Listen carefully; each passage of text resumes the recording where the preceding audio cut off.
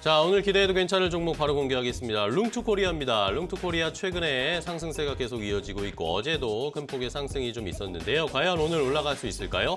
두 분의 전문가께서는 모두 오늘은 조금 더 올라가기는 힘들 것이다 라는 의견을 모아주셨습니다.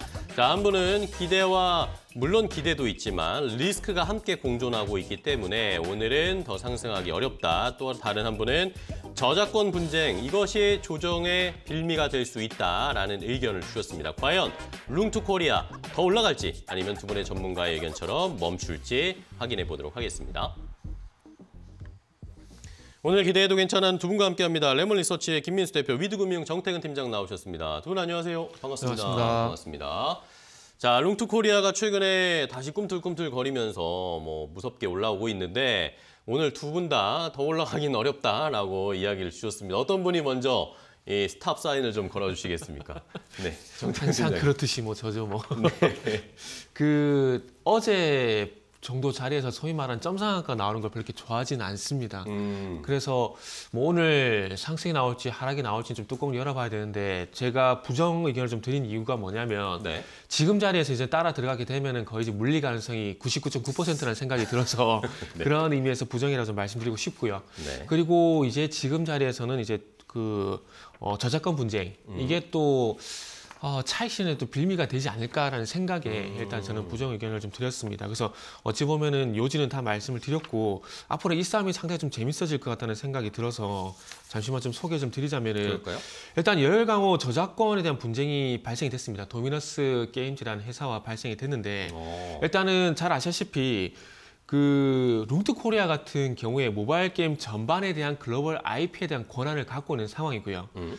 그리고 이제 또 도미너스 게임즈라는 회사는 이 블록체인 게임, 블록체인 게임에 대한 어떤 IP를 또 우리가 가지고 있다. 음, 이 얘기를 하게 되면서 양쪽 다 맞는 얘기를 하고 있다 보니까 어느 쪽 손을 들어줘야 되나 그런 고민이 좀 그러게요. 생기는 부분이 있습니다. 그래서 도미너스 게임즈 같은 도미너스 게임즈 같은 경우에는 지금 열혈강호 원작자인 그 전명진 대표가 설립한 회사고요. 그리고 이 전명진 대표는 또 원작자인 전극진 작가와 또 형제지간입니다. 아, 그래서 지금 최근에 그 형제간의 분쟁이 상당히 좀 많잖아요. 그래서 아마 룽투코리아도 그런 맥락이지 않을까 좀 생각이 드는데 일단 열혈 강호 IP 같은 경우는 지금 어 기존 게임에 좀 제한을 시켜야 될 것인가 아니면 이걸 확장해야 될 것인가 이 문제가 좀 있는데 그래서 도미너스 게임즈 같은 경우는 그 어쨌든 지금 서두에 말씀드렸듯이 그 이 열혈 강호 IP에 대해서 어 블록체인 게임에 대한 판권을 이제 주장을 하고 있는 상황이고 네. 그리고 룽투 측 같은 경우에는 국내 말씀드렸듯이 국내 및 글로벌 전반적인 어떤 아- 모바일 IP를 갖고 있다 얘기를 하게 되면서 이 블록체인 같은 경우 별도의 계약 내용이 없었다라고 이제 얘기를 하고 있습니다. 그렇기 때문에 이건 위반 사항이 아니다 이렇게 얘기를 하고 있는 상황이고요.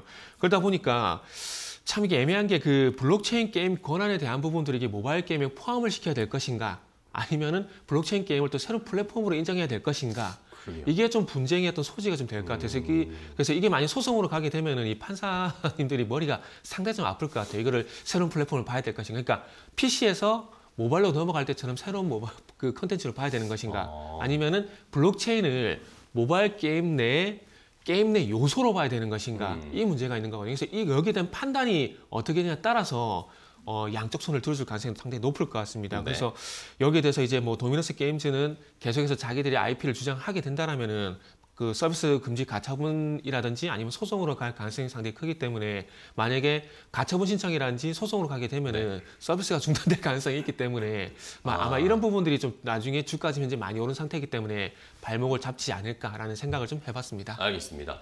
자, 어쨌든 이 저작권 분쟁이 나중에 리스크로 작용할 수 있는 것이기 때문에 언제든지 터질 수 있는 폭탄이다라고 생각을 하시면서 지금은 좀 어, 들어가기에는 위험하다라는 의견 주셨고요. 김민수 대표님은 역시 더 추가적인 상승은 어렵, 어렵다고 보시네요. 네, 어, 변호사님 모신 줄 알았습니다. 네, 오늘 변호사 스타일로. 예, 예. 네. 어, 그래서 룽투 코리아를 보면서 뭐 그런 문제도 있고, 네. 어, 이제 가장 중요한 거는 어, 이제 회사 내용들 보는 게 더 중요하겠죠. 그쵸. 래서 어, 중국의 룽투 게임이라는 회사와 란투 게임즈라는 회사도 갖고 있고, 음. 어, 룽투와 란투도 또 형제네요. 네. 그리고 또 타이곤 모바일이라는 게임 회사도 갖고 있고, 그러면서 이런 음. 어, 게임을 publishing하는 회사다라고 보시면 될 것 같은데, 어, 그러다 보니까 그 전에 뭐 검과 마법 그리고 또 열혈 강호 이거 모두 다 카카오를 통해서 어, release된 게임이라고 보시면 될 것 같고요. 네. 그 밖에 눈길이 가는 게 블라스트 정도 어, 제가 알고 있는 건 그 정도 게임인데 음. 하반기에 뭐 태왕 가람의 길 어, 출시를 한다고 하는데 잘 모르겠습니다. 일단 봐야 될 것 같고요. 네. 근데 지금 어, 타이곤 모바일에서 나온 이제 열혈 가고 글로벌이 어, 이제 출시가 되면서 사전 예약자 500만 명이었다라는 쪽에서 기대감을 좀 키우고 있는데 근데 지금 어, 2017년도에 출시를 한 게임입니다. 이 네. 열혈 강호 4 카카오에 약간 토큰 개념을 어, 개입 대입하다 보니까 이게 이제 P2E 쪽으로 나가기 시작하는 거고요. 거기서 어, 타이군 토큰이라고 하는 TIG가 나오기 시작하는데 이를 통해서 어, 또 재화에 관련된 게임 내 재화가 크리스탈이고요. 이걸 연동시키기 시작하다 보니까 아, P2E 게임 많이 본 거죠. 그렇죠. 미르포에서 나왔던 게임과 비슷한 상황들인데 그래서 이제 이게 위믹스랑 연계됩니다. 그래서 어. 어, 위믹스와 교환 가치가 있다 보니까 연계해서 확대된다라는 쪽에서 어제 위메이드도 살짝 올랐었죠.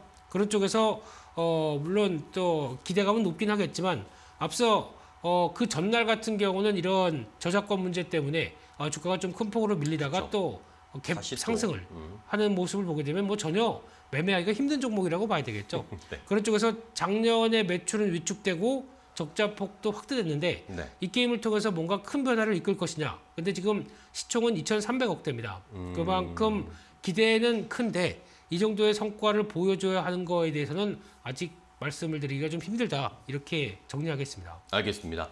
물론 뭐 기대감도 있지만 그에 걸맞는 지금 주가 상황인가 그리고 정태근 팀장님도 설명해 주신 이런 리스크 요인들도 상존하고 있다라는 것 때문에 저희가 섣불리 뭐 접근하기는 쉽지 않다라는 의견 두 분이 공통적으로 좀 주셨습니다.